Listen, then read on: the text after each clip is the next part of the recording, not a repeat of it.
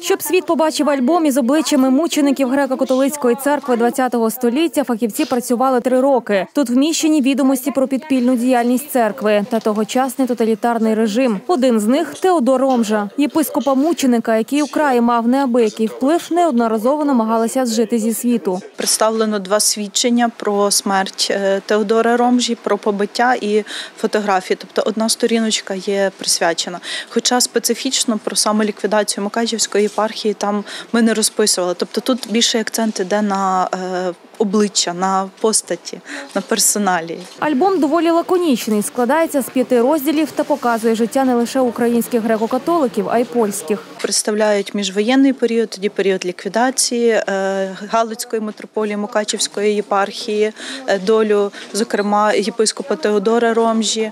Е, Крім того, там велика частина, великий розділ присвячений періоду катакомб, коли церква була греко-католицька в радянському союзі заборонена.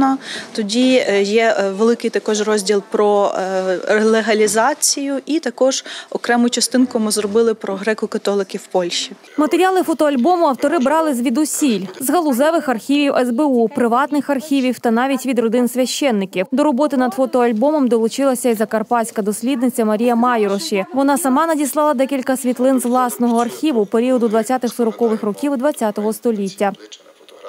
Єпископ Стойка є в нас. е, Він дуже ну, такий діяч великий. Він е, єпископ Стойка там є на цих світлинах. А також е, м, Волошин там на цих світлинах з ним разом із інтелігенцією Ужгорода 20-30-х років. Ось ці три світлини ми маємо там представлені з мого особистого архіву. Праці показують непростий період у житті церкви. Цей фоліант визнали найкращим на форумі видавців у Львові цього року. Видання альбому Переслідування за правдою це не тільки погляд на історію Української греко-католицької церкви, але те це також і погляд на непросту історію України ХХ століття.